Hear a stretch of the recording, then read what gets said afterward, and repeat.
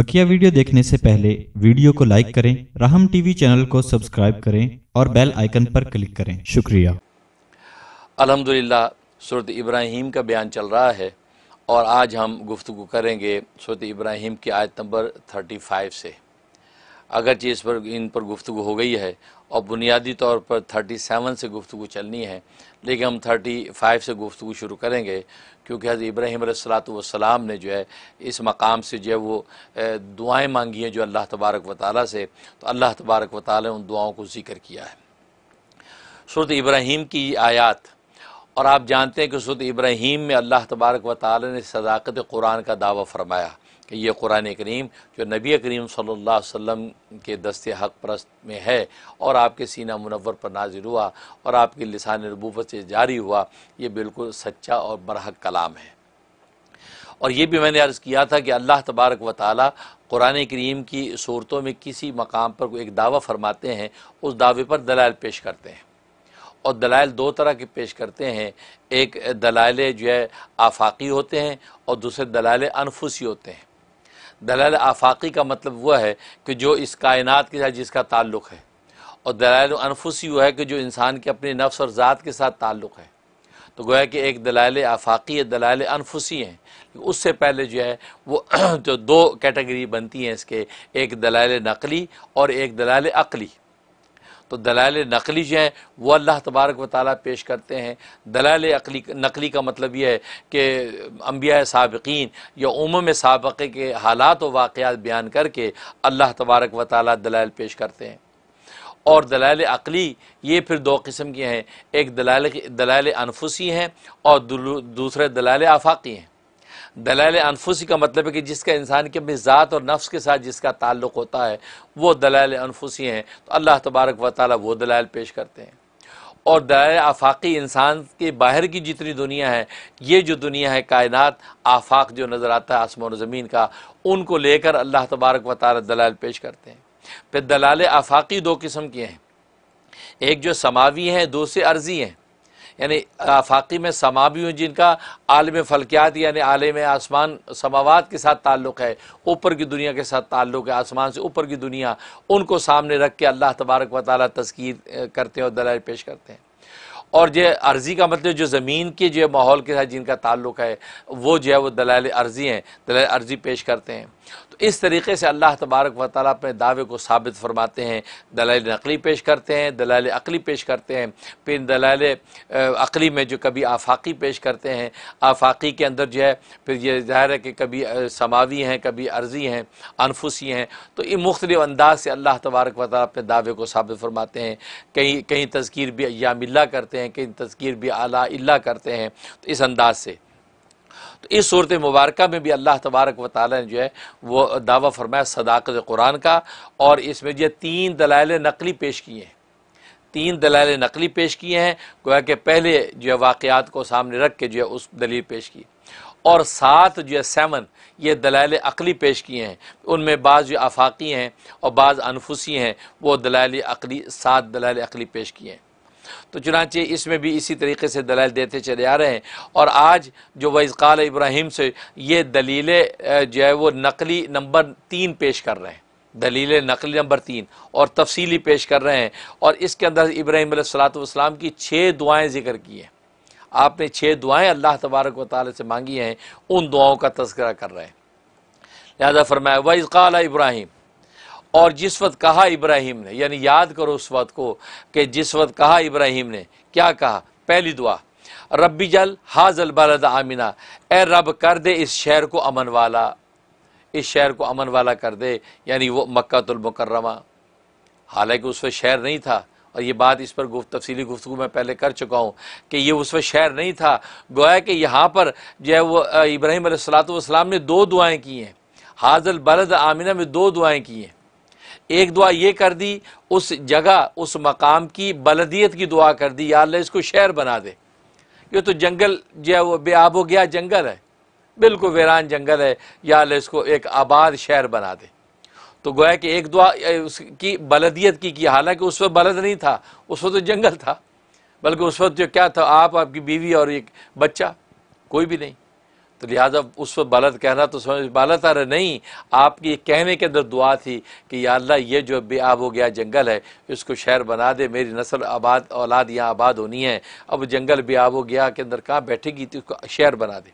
तो देखो, बलदियत की दुआ की। दूसरा, आमिना, पे अमनीत की दुआ की, या शहर भी ऐसा अमन वाला हो, शहर हो और बदअमनी हो तो वो शहर तो और ज़्यादा ख़तरनाक है। लोग जो है, उससे बेहतर जो जंगल में रहना पसंद करेंगे कि चलो इतनी बदमनी जो है, वो दरिंदे जंगल के नहीं करेंगे जितने इंसान करते हैं। इंसान जब दरिंदा बनता है तो दरिंदे पना मांगते हैं। इंसान जब शैतनत पे उतरता है तो शैतान पना माँगता है। इसलिए गोया कि आपने बलदियत भी मांगी और अमनीत भी मांगी और अल्लाह ने दोनों कबूल कर ली। शहर बनाया तो ऐसा शहर बनाया कि सुबह अल्लाह, सारी दुनिया का शहरों का मरकज़ बन गया। और अमनियत अता की तो ऐसी अमनियत अता की कि सुबह अल्लाह इंसान तो इंसान, वहाँ पर रहने वाले परिंदे और जानवरों को भी अमन नसीब हो गया। और ऐसी हर में मक्का कायम कर दी कि आप कबूतर को हाथ नहीं लगा सकते, जिस कबूतर को शिकारी जगह पर जगह शिकार करते फिरते हैं, वो कबूतरों को आप जो हाथ नहीं लगा सकते, बल्कि उनको दाने डालते हैं, अनाज डालते हैं। तो गोया कि वहाँ पर तो एक जू और च्यूंटी तक महफूज हो गई, ऐसा अमन वाला।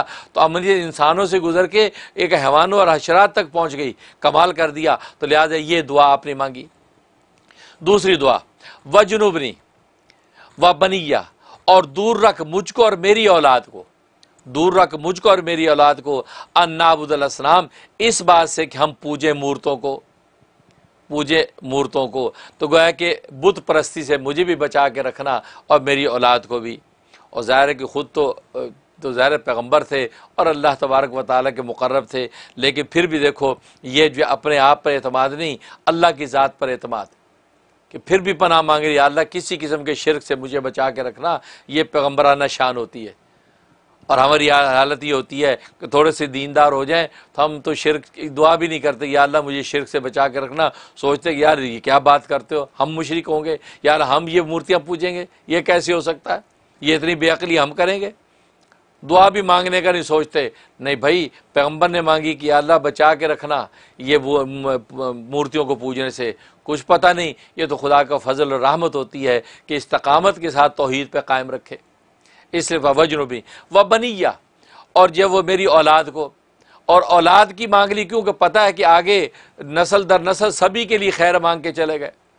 लिहाजा लिखा है कि इब्राहिम सलाम की औलाद को अल्लाह तबारक व ताली ने यकीन जो सही सिलसिला उनका चला आ रहा था, यकीन अल्लाह ने उनको बचा के रखा। तो दूर रख मुझको और मेरी औलाद को। अन्नाबुदलाम इस बात से कि हम पूजे मूर्तों को, यानी बुत से बचा।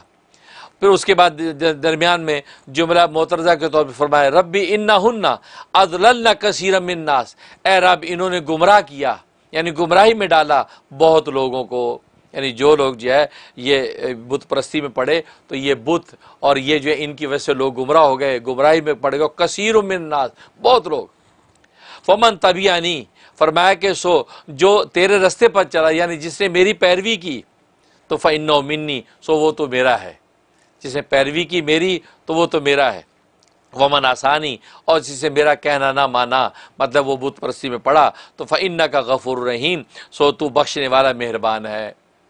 तो तेरी बख्शी और मेहरबानी है कि तेरा काम है तो उसको बख्शे या ना बख्शे, लेकिन यह कि तू गफुर रहीम है। तो कोई ये नरम गोशा। इब्राहिम सलाम के अंदर ये एक जो है, एक कैफियत थी कि आप हर एक के लिए इतने हमदर्द थे कि बेशक दुआ कर रहे हैं कि जिसने मेरी पैरवी की वो मेरा है, जिसने नहीं की तेरी नाफरमानी की, शिरक में पड़ा है तो या अल्लाह अब तू गफुर रहीम है तो खुद ही बख्शी, सामान बना। मतलब यह है कि वो उसको हिदायत अता फरमा दे। ज़ाहिर शिरक छोड़कर तोहद पर आएगा तो आपकी बख्शी मुतवजी होगी। तो गोया कि इस बख्शिश और रहमत के अंदर उन मुशरकिन के लिए तोहहीद की दुआ कर दी। ये है। तो फरम वमन आसानी, जिसे मेरा कहना ना माना फ़ैन का गफुर रहीम पेशक तू तू सो, तू बख्शने वाला मेहरबान है। अब यहाँ तक दो दुआएँ हुई। उसके बाद तीसरी दुआ, रब्बाना इन्नी अस्कन तो मिनजुर्रियती रब्बाना इन्नी अस्कन तो मिनजुर्रियती आज यहाँ से आज का सबक शुरू हो रहा है। कि रब्बाना, ए रब इन्नी अस्कन तो मैंने बसाया है। अस्कन तो मैंने बसाया है। मिनजुर्रियती अपनी एक औलाद को। मिन ज़ुरियती मिन ने आके बता दे बाज़ औलाद, यानी एक औलाद, यानी इसमाइल सलाम इसमाइल ज़बील्ला को वहाँ आबाद किया। बिवादीन, मैदान में। मैंने बसाया है अपनी एक औलाद को मैदान में। गैर जी ज़रीन कि जहाँ खेती नहीं है। खेती बाड़ी अरे, उस ज़माने के अंदर खेती बाड़ी ही के ज़रिए से कस्ब मुआश हुआ करता था। लोग खेती बाड़ी करके अपना गुजर बसर करते और खुदा को याद करते थे। अच्छा कहाँ बसाया? इंदा बैतिकल मुहर्रम। तेरे मोहतरम यानी हुरमत वाले शहर के पास। तेरे मोहतरम यानी हुरमत वाले शहर के पास जो है, मैंने जो अपनी एक औलाद को बसा दिया। तो रब्बा ना ए रब हमारे लीकीम बसाया क्यों है? उसकी इल्लत बयान कर रहे हैं। ये इसकान इस इसकान की इल्लत बयान कर रहे, गर्ज बयान कर रहे हैं कि मैंने यहाँ बसा दिया। तो सवाल पैदा होता है कि आपने बेआब हो गया, वादी के अंदर क्यों बसाया आपने? वहाँ क्यों ठहरा दिया? इसलिए लीकीम सलात। ए, हमारे रब, इसलिए मैंने बसाया है ताकि कायम रखे नमाज़ को। अज़ीज़ तलबा और तालबात नाजन हाजरी इस नुक्ते को नोट कीजिए कि इब्राहिम सलाम ने कोई गरज बयान नहीं की। कि मैंने अपनी औलाद को आज आज जैसे होते, मैंने अमेरिका भेज दिया अपना बच्चा, क्यों? यार पैसे कमाए, ज़रा घर बार बनाए, प्लाजा बनाए, ज़िंदगी बसर कर आराम से। यार मैंने बच्चे को जो है फ़लाँ डिग्री करवा दी है यार, ताकि अपनी रोटी चलाए, अपना खा सारे हम दुनिया की सोचते हैं। इबन मेरे सलाम अपनी औलाद के बारे में सिर्फ़ एक बात कर रहे हैं, लीकीम सलात, ताकि तेरी नमाज़ कायम करें। इससे अंदाज़ा करें कि नमाज़ का क़्याम कितनी अहम चीज़ है। और यही मकसद यह हयात है कि नमाज़। अगर औलाद आपकी नमाज़ कायम करने वाली हो गई तो फिर आपको रोटी की फ़िक्र भी नहीं करनी चाहिए। फिर रोटी की फ़िक्र भी नहीं करनी चाहिए, क्योंकि जो अल्लाह तबारक व ताली का हो गया और सच्चे तरीके से नमाज़ पढ़ने वाला हो गया तो फिर अल्लाह तबारक व ताली उसको भूखा नहीं मारेंगे। क्योंकि उसने हयाल फलाह यानी कामयाबी का रास्ता इख्तियार कर लिया। क्योंकि हयाल सलाह क्योंकि नमाज़ की तरफ़ आ गया है। तो इसलिए कामयाब जो कामयाबी का रास्ता और फलाह जो है मस्जिद ने कह दिया, फलाह दुनिया और फलाह आखत फलाह दारैन इस नमाज़ के अंदर है। तो देखो इबन सलाम ने जो नुकते की बात की और सलात तो तेरे इस घर के करीब मैंने इसलिए आबाद कर दिया ताकि नमाज़ कायम करें। इसमें एक ये भी इशारा दे दिया कि अपना घर बार मस्जिद के करीब लेना चाहिए। मस्जिद के करीब घर बार लेना चाहिए। क्योंकि ज़ाहिर है कि आज दुनिया के अंदर जहाँ भी घर हैं, मसाजिद हैं, उनके करीब घर ख़रीदें। क्योंकि ये मसाजिद जो हैं, वही जो बैत मुहर्रम, बैत मुकर्रम, यानी अल्लाह तबारक व वाली के जो बैतुल्ला उसी की शाखें हैं। उसी के ज़िमन में ये सब बैतुल्ला अल्लाह के घर हैं। तो लिहाजा इसमें इशारा इस तरफ़ कर दिया कि उन्होंने अपनी औलाद को अल्लाह के घर के पास आबाद किया। ताकि वो नमाज़ कायम करें। तो लिहाजा इशारा दे दिए कि आज कोई भी मुसलमान दुनिया में कहीं भी रहता है, वो कोशिश ये करे कि अपना घर मस्जिद के करीब ख़रीदे, ताकि वो खुद और उसकी औलाद नमाज़ पढ़ने वाली बने। अगर मस्जिद से दूर होंगे ख़ास अमेरिका यूरोप की दुनिया के अंदर अगर आप मस्जिद से दूर हैं तो फिर तो ना खुद आप, आपको ख्याल आएगा नमाज़ पढ़ने का ना बच्चों को आएगा लेकिन मस्जिद का बिल्कुल पड़ोस में घर होगा तो आपको बच्चों को नहीं तो कम से कम आपको ख्याल आएगा कि चलो यार मैं जाके मस्जिद में नमाज़ पढ़ लूँ मुजिन की अजान हुई है। और इन आपको देखा कि बच्चे भी जो अमेरिका यूरोप की दुनिया के अंदर कितनी आज़ाद माहौल में रहते हैं तो जब वो पाँच वक्त में नमाजियों को जाते आते देखेंगे और जुमे के अंदर आते जाते देखेंगे तो वो भी मौका देख के सोचेंगे, चलो यार नमाज़ मस्जिद में जाके पढ़ लो। और अगर मस्जिदें इतनी दूर हो के लोग आज की जो है अमरीका, यूरोप के अंदर जब मालदार हो जाते हैं, पहाड़ी पे घर बनाते हैं, ऊँचे हिल के ऊपर। हाँ जी वो फलां मेयर के पड़ोस में घर है हमारा, फलां प्रेसिडेंट के गौर, पड़ोस में घर है। फलां प्रेसिडेंट जो है वहाँ रहा करता तो उसके पड़ोस में, फलां बहुत बड़ा सेलिब्रिटी उसके पड़ोस में घर लिया है। फलां जो है वो बहुत बड़ा जो है प्लेयर है जो वो फलां, जब वो बास्केटबॉल का बड़ा प्लेयर उसके पड़ोस के अंदर मैं तो जो है वो तीस मिलियन का घर ले लिया ये बेवकूफ़ी वाली बातें ना ना वो, सदर ने रहना है ना मेयर ने रहना है ना मकानों रहना है रहना तो अल्लाह का नाम रहना है। लिहाजा मस्जिदों के करीब। और लोग सोचते हैं यार मस्जिदों के करीब घर लेंगे यार पाँच वक्त की नमाजें अजान यार छोड़ो यार रहने दो खाम खा दूर अच्छा है। नहीं यहाँ इब्राहिम सलाम जो सारी दुनिया के बाप हैं यानी उनको जो है, सारी कौमें, सारी सोसाइटियाँ, सारे मज़ाहब उनको बिल इतफ़ाक़ अपना इमाम मानते हैं। इमाम उन्नास का मुकाम।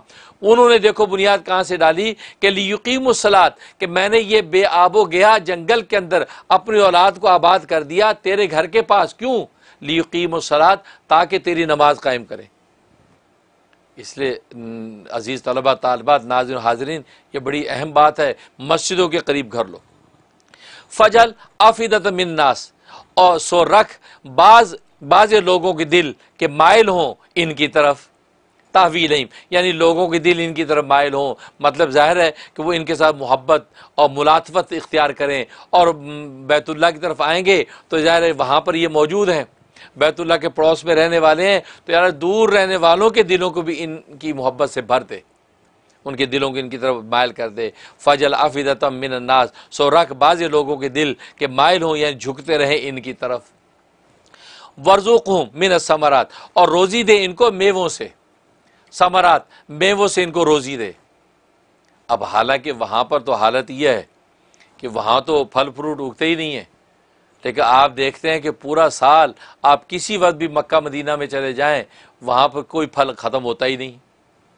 हर दुनिया का फल वहाँ मौजूद आपको नज़र आता है। बस ये इब्राहिम सलाम की दुआ है कि ख़ुद उस इलाके के अंदर, वहाँ तो कुछ उगता ही नहीं है। ऊपर खुद बता दिया कि विवादी गैर जी जरीन खेती बाड़ी वहाँ होती नहीं है। लेकिन आप देखें, पूरी दुनिया के फल वहाँ पहुँचते हैं। क्योंकि दिलों को, लोगों के दिलों को उधर मुतवजह कर दिया है और लोग जो तजारती सामान वहाँ पहुँचा रहे हैं। और वहाँ रहने वाले, माशाल्लाह, उनको अल्लाह ने ऐसा नवाज़ दिया है कि वो जनाब रकम दे दे, कि जनाब समन दे दे कि जब वो फलों को ख़रीदते हैं और खाने पीने के सामान पूरा साल वहाँ बेबहा मौजूद। तो इसलिए फरमाया कि वर्जुखों में समरात और रोज़ी दे उनको बेवों से। लालोम यशकरून, ताकि वो शुक्र करें।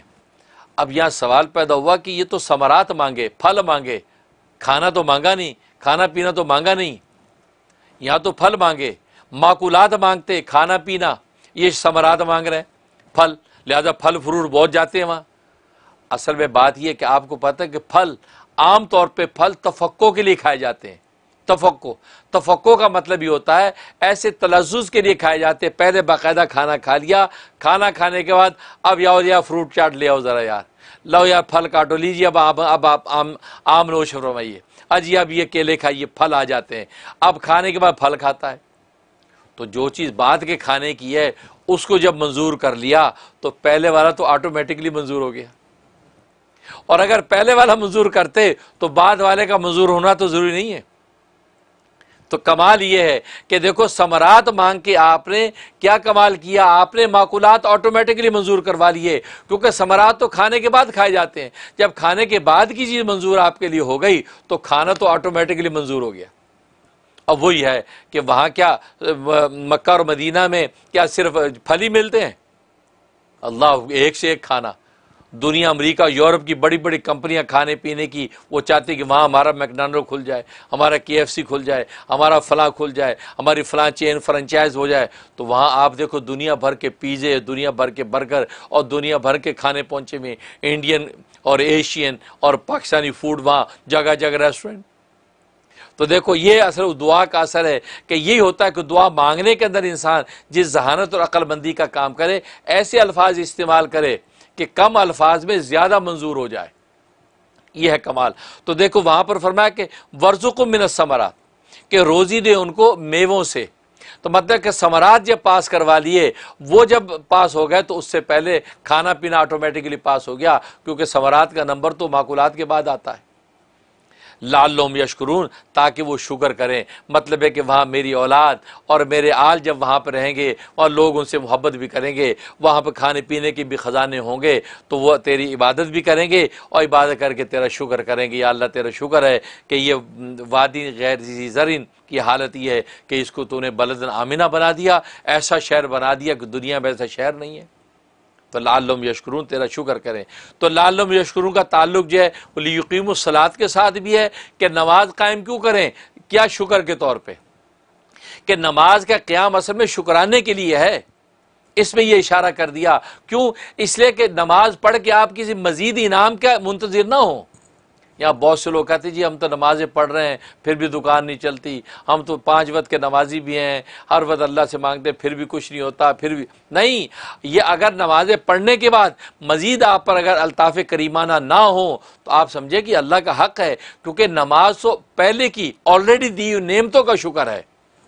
हमें दो वक्त की रोटी दी, कि कमर सीधी है, कि आज क़्याम में खड़े हैं। दो गुण पानी के दिए, कि हमें होश आवास है, हम नमाज़ में खड़े हैं। हमें जिसम जान दिया और ये सुबह शाम के सांस दिए, चलने फिरने की कुत दी तो बे मांगे अल्लाह ने ये जिसम जान की खूबसूरती और अंदर के कमाल दिए हैं। ये खुद ऑलरेडी इतनी नेमतें हैं। हम इस नेमत का असल में शुक्र करते हैं। इस नेमत का शुक्र करते हैं। तो नमाजें पढ़ना असल में पहले की दी हुई नेमतें, ये जिसम जान और ख़ास पर इंसानियत के मुकर्रम मुकाम के ऊपर फ़ायज़ अल्लाह ने हमें जो कर दिया है, ये सारा उसके शुक्र के तौर पर पाँच टाइम नमाज़ पढ़ते हैं। हालाँकि अल्लाह तबारक व ताली की नेमतें तो 24 घंटे हर लम्हा हमारे ऊपर है। ये सांस हर वक्त ले रहे हैं। हमारी आँखें हर वक्त देखने के काबिल हैं, कान हर वक्त सुनने के काबिल हैं। चलना, फिरना, उठना, बैठना, एक एक चीज़। और खाने, पीने के माकूलत, मलबूसात और ये मस्कूनात की इतनी नेमतें। हमें तो 24 घंटे सजदे में पड़े रहना चाहिए। 24 घंटे। लेकिन अल्लाह के लुत्फ़ इनायत है, उसने हमारे 24 घंटे नहीं लिए। कि आप 24 घंटे बस इबादत करें, क्योंकि पहले की इतनी नेमतें तुम्हें दे रखी है, उसी का हक अदा नहीं होगा। लेकिन ये अल्लाह के लुत्फ़ इनायत है, हमें 24 घंटे में से अल्लाह ने सिर्फ़ पाँच वक्त ले लिए। पाँच पाँच वक्त ले लिए, और पाँच वक्तों में बस नमाज़ पढ़ के शुक्रिया अदा कर दो। और वो पाँच वक्त में एक नमाज़ का भी हिसाब लगाएँ, एक नमाज़ दस मिनट की, अगर हम पढ़ें, और ये दस मिनट भी ज़्यादा बता रहा हूँ, वरना हमारी नमाजें तो दो, ढाई, तीन मिनट की होती हैं। फरिश्ते अभी रजिस्टर खोल ही रहे होते हैं, हम फारिग होकर जा रहे होते हैं, वो सोचते हैं, यार, इसे पढ़ भी ली कि नहीं? ये तो एक, मैं ऐसे लतीफ़े के तौर पे ये हालत हमारी नमाज़ की। इतने फास्ट जाते हैं कि फरिश्ते बेचारे रजिस्टर खोलते ही रह जाते हैं और अभी लिखने नहीं होता कि जनाब साहब टोपी जेब में डाल के निकल लें। क्योंकि नमाजों के बाद दुआ तो मांगनी नहीं होती ना हमने, क्योंकि दुआ में भी पाँच मिनट लगते हैं। अल्लाह अकबर। ये कितनी जो है वो महरूमी की बात है कि आप अल्लाह के सामने झुके खुदा खुश हो गए अब देने के लिए अल्लाह ने हाथ बढ़ाया और आपने अपना हाथ खींच लिया और उठ के निकल लिए। ये अल्लाह की, की बेअदबी तोहन भी है और आपने अपनी नमाज़ भी नाकस कर ली कि हाथ उठा के दुआई आपने उसके बाद नहीं मांगी और निकल लिए। इसलिए भाई इस मसले को भी आप समझ लें। हाथ उठा के नमाज़ पर दुआ मांगा करो, गिड़गड़ाए करो, क्योंकि दुआ, ये तो दुआ मुखल इबादत इबादत का मगज़ यही है। नमाज़ पूरी पढ़ ली, अब उसके बाद अब आप शुरू करें। अल्लाह से मांगना, अल्लाह तो अता करेंगे। मांगने के टाइम उठ के चलेगा बहरल तो खैर, इस पर तफसीली गुफ्तु फिर कभी करूँगा। अब कहने का मकसद ये है, अब ये बता दिया कि ये असल में शुक्र है ये नमाज़ असल में पहले की नियमतों का शुक्र है। चौबीस घंटे नमाज़ पढ़नी चाहिए थी, लेकिन अल्लाह तबारक व ताली ने पाँच नमाजें फ़र्ज़ की हैं और उनमें से एक नमाज़ दस मिनट की लगाएँ तो कितने मिनट लगते हैं? कितने मिनट? पचास मिनट। पचास मिनट के अंदर आपकी सारी नमाजें हो जाती हैं, घंटा भी पूरा नहीं। और बाकी सारे के सारे ट्वेंटी थ्री घंटे अल्लाह ने हमें दे दिए। अब खाओ, पियो, सो, सैर सपाटे करो, किसी भी जायज़ काम में लगे रहो। अल्लाह को कोई मतलब नहीं है। कमाते रहो, दुकानें खोलते रहो, लेकिन पाँच वक्त में अल्लाह को सजदा देते रहो, ताकि ऑलरेडी जो नेमतें तुम्हें हैं और मज़ीद आगे दे रहे हैं, वो तो सुबह अल्लाह अल्लाह की तरफ़ से मज़ीद एहसान है। लिहाजा उसका शुक्र। और फिर उसके बाद इस रूहानी नेमत, यानी नमाज़ के साथ, फिर इसके मादी नेमतें। मादी नेम तो जो है, ये समरात, माकूलात, मलबूसात, मस्कुनात, ये दे रखे हैं। फिर आफिदत मिन, आफिदत मिनन्नास लोगों के जो कलूब मायल कर दिए, मोहब्बत करते लोग अहले मक्का से, मोहब्बत करते लोग अहले मदीना से, मोहब्बत करते लोग इन अल्लाह के घर के पड़ोसियों से तो ये मोहब्बत अल्लाह तबारक वाली दिलों में डालते हैं। तो मानवी नेमतें और मादी नेमतें जो ऑलरेडी तुम्हें दे रखी हैं जैसे इसी का शुक्राना है कि तुम सजदे दो नमाज़ पढ़ो लाल्लोम यशकरून, ताकि वो शुक्र करें। यहाँ तक ये तीन दुआएँ हुई। चौथी दुआ, रब्बाना इन्ना का तालू मानुफ़िवान ए रब हमारे, तू तो जानता है जो कुछ हम करते हैं, जो कुछ हम करते हैं छुपाकर और जो कुछ करते हैं दिखाकर। जो कुछ हम छुपाकर करते हैं, जो दिखाकर करते हैं, तू तो जानता है। क्योंकि तुझसे कोई चीज़ छुपी हुई नहीं है। वमा यकफ़ा शही और मख्फी नहीं है अल्लाह पर कोई चीज़। अल्लाह पर कोई चीज़ मख्फी नहीं है। तो कहा कि अल्लाह तबारक व ताली की कुदरत और रहमत को बता दिया, फिल अर्जी वाला फिर सवा ज़मीन में ना आसमान में। तो ज़मीन व आसमान में कोई चीज़ अल्लाह से मख्फी नहीं है। गोया कि बता दिया कि अल्लाह, किन जज्बात के साथ हम तुझसे मांग रहे हैं, किन कैफियात के साथ तुझसे मांग रहे हैं, उनसे तू ही वाकिफ़ है। ये हमारी सिर्फ़ इबारात नहीं है, बल्कि अंदर कैफियात भी हैं। इबारात को तो कानों वाले सुन भी सकते हैं। आँखों वाले हमारी इस कैफियत को बाहर देख सकते हैं, लेकिन वो कैफियात जो हमारे कलब के अंदर छुपी हुई है, उसको कौन पहचानेगा? अल्लाह, तू ही पहचानता है। तू ही पहचानता है। आप वो जो छिपी हुई, छुपी हुई जो मेरी कैफियत है, जो दर्द है, जो मेरी चाहत है, या अल्लाह दुआ को कबूल कर। वाकई या अल्लाह, इस जो है बेआब हो गया जंगल को तो ऐसा बलद आमिर बना दे कि ऐसी बलदियत नज़र ना आए दुनिया में और ऐसी अमनीत कहीं नज़र ना आए। या तो वही हुआ कि अल्लाह तबारक व ताली ने ज़ाहिर कि दिल की कैफियत का नाम दुआ है। दुआ हकीकत में इबारात का नहीं, वो कैफियत का नाम है। अंदर की कैफियत आपके, अंदर कितना इस्तर और तड़प होती है। अल्लाह तबारक वता उतनी जल्दी उस दुआ को कबूल करते हैं। उसके बाद फरमाया कि अलहमदिल्लाबली बरी इसमाईल व इसहाक। अब हज़रत इब्राहिम सलाम शुक्र कर रहे हैं। लालुम यशकुरून, कहा ना कि ताकि वो शुक्र करने वाले बने और फिर अपना अमली तौर पर शुक्र पेश भी कर रहे हैं। या अल्लाह तूने मुझ पर जो इनामात किए हैं, उसका मैं बरमला इजहार करता हूँ शुक्र का। बरमा इजहार करता हूँ। तूने मुझे बुढ़ापे में औलाद दी। इस्माइल सलाम की शक्ल में, इसहाक सलाम की शक्ल में अल्लाह आपने मुझे बुढ़ापे में औलाद दी। कि जो जो के, जो मौका औलाद का नहीं है, वो तो वैसे ही इंसान की फना का वक्त है, कब्र में जाने का वक्त है। उस वक्त में आपने औलाद दे के, गोया के बुढ़ापे को जवानी में बदल दिया। या अल्लाह तेरी लुत्फ़ इनायत है, उस पर शुक्र कर रहे हैं। तो अल्हम्दुलिल्लाह जी शुक्र है अल्लाह का, जिसने वाहब अली, बख्शा मुझको। बख्शा मुझको अलल की बड़ी, इतनी बड़ी उम्र में। इतनी बड़ी उम्र में बख्शा। क्या बख्शा? इस्माइल। इस्माइल बख्शा। इस्माइल दिया। वह इसहाक और इसहाक। अब वाहब अली वाहबा का लफज ये बता रहा है कि औलाद अल्लाह तबारक व ताली की लुत्फ इनायत ही से अता होती है। इंसान के मादी इसबाब का इसमें कोई दखल नहीं है। हाँ मादी इसबाब इख्तियार करना इसका ये मुकलफ है। लेकिन औलाद उस मादी इसबाब इख्तियार करने से पैदा हो अता हो, ये मुमकिन नहीं। वो ख़ास वाह भी अल्लाह की वाह भी और नुसरत के साथ ही वो अता होती है औलाद। इसलिए वाहबा का इस्तेमाल फरमाया। इसलिए कुरान ने भी अल्लाह ने, कुरान में अल्लाह ने कहा आन तुम तखलूकुन हो अमनानुल खालिकुन? क्या तुम औलादे पैदा करते हो या हम पैदा करते हैं? गोया कि इसके अंदर जो है, वो इस अंदाज से सवाल किया है कि इस्तीफ़ामी इनकारी के तुम नहीं पैदा करते, हम पैदा करते हैं। आन तुम तजरोन हो अमनाहन क्या तुम खेतियाँ उगाते हो या हम उगाते हैं? तो इश, इशारा करते नहीं नहीं तुम नहीं उगाते। तुम तो बीज डालते हो पानी देते हो रोशनी देते हो। बस इस ज़मीन में से उस बीज को उगा देना ये उगा देना ये हमारा काम है। इसलिए तो हकीकत तो वाहब तो ये औलाद अल्लाह की रहमत और नुसरत से मिलती है किसी का इसमें दखल नहीं है। इसलिए वो लोग जहालत करते हैं कि जनाब शौर बीवियों पर कि जनाब तेरे औलाद नहीं हो रही क्यों? औलाद नहीं हो लिहाजा तुझे तलाक दे दूँगा तुझे ये कर दूँगा वो कर दूँगा। या तेरे यहाँ बेटा क्यों नहीं हो रहा? तू बेटा पैदा क्यों नहीं करी? तीन बेटियाँ हो चुकी हैं। अगर ये चौथी बेटी हुई तो फिर तेरे तुझे तलाक दे दूँगा। ये सुबह शाम के किस्से हैं। लेकिन उन नालायक को पता नहीं कि वाहब अली कि ये तो अल्लाह की ख़ास वह भी नेमत है। अल्लाह तबारक वाली जिसको जो चीज़ अता करे, वो अता करता है। यहाँ तक इसमें सिनफ में भी इंसान को इख्तियार नहीं है। अगर इख्तियार होता तो इंसान तो दुनिया के अंदर जो है, उसी जबते के साथ औलादे पैदा करता। अगर तीन बेटे तो तीन बेटियाँ पैदा करता। ऐसा नहीं है, किसी को बिल्कुल औलाद नहीं है, किसी को बेटे ही बेटे हैं, किसी को बेटियाँ ही बेटियाँ हैं, वो बेटियों वाला बेटों के लिए तरसता है, बेटों वाला बेटी के लिए तरसता है है? किसी को बेटे बेटियाँ दोनों हैं। इसका मतलब है ये इंसान का अपना इख्तियार इसमें नहीं है। और फिर अनबैलेंस, दो बेटियाँ चार बेटे हैं, चार बेटियाँ एक बेटा है इस तरीके से। तो गोया कि यह क्या मतलब? ये गैर मुतवाजन बाज़ार हमें कैफियात नज़र आती हैं और जबकि इंसान दुनिया में बाज़ार कोशिश करता है कि तरतीब से चले, दो बेटे, दो बेटियाँ पैदा करूँ। अल्लाह तबारक व ताली के फ़ैसले कुछ और हैं। इसका मतलब यह है कि अल्लाह की ख़ास वह भी नेमत है ये। अल्लाह जिसको जिस तरतीब से अता करे, वो अता करता है। लिहाजा इसके अंदर जो है, ना शौर का कोई कसूर है, ना जो है बीवी का कोई कसूर है, ना शौर का कोई कमाल है, ना बीवी का कोई कमाल है। सब अल्लाह तबारक व ताली के फ़ैसलों के महतहत उसके मशीत के तहत फ़ैसले होते हैं। लिहाजा इस किस्म की जहालत जो है करना, ये हमाकत और अल्लाह तबारक व ताली के रहमत को ना जानना है।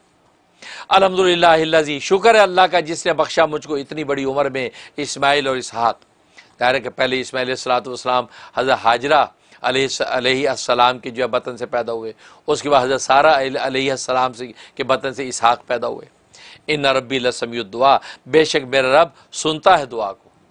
इन्ना रबी लसमी दुआ। बेशक मेरा रब सुनता है दुआ को। तो गोया कि ये दुआ की शुक्राना किया और ये भी कह दिया कि अल्लाह, पहले से भी तूने मेरी दुआओं को सुना है और मुझे तेरी नेमतें मिली हैं। अब ये भी जो मैं दुआएँ कर रहा हूँ, या अल्लाह, ये दुआएँ भी यकीन तू सुन रहा है और यकीन तू मुझे कबूलियत का भी इशारा अता फरमा। गोया कि ये बशारत भी मांग रहे हैं। उसके बाद पाँचवीं दुआ रबी जालनी मुकीम सलाती। व मिनजुर्रियती रब्बाना व तकबल दुआ अब यहाँ फिर गौर कीजिए नाजरीन हाजरीन अज़ीज़ तलबर तालबात क्या मांग रहे रब भी जालनी ए रब मेरे इजालनी मुकीम सलात कर मुझको कि कायम रखूँ नमाज़ फिर नमाज़ की बात आ गई और आज जो है बहुत से नालायक कहते यार नमाजें ही पढ़ दे रहो कर ये कुछ ना नमाजें ही पढ़ दे रही है अल्लाह अकबर अगर तू नमाजें ही पढ़ दे रही है वाले हो जाते तो फिर आपको कोई गम ही ना रहता तो उसी नमाजा पढ़ दे रही है वाले हो ही नहीं। चौबीस घंटे नमाजें ही पढ़िए यार। हाँ पढ़ो। तुम पढ़ के देखो। फिर तो तुम्हें कोई गम ही नहीं रहेगा भाई। तुम मज़ाक उड़ा रहे हो नमाज़ का।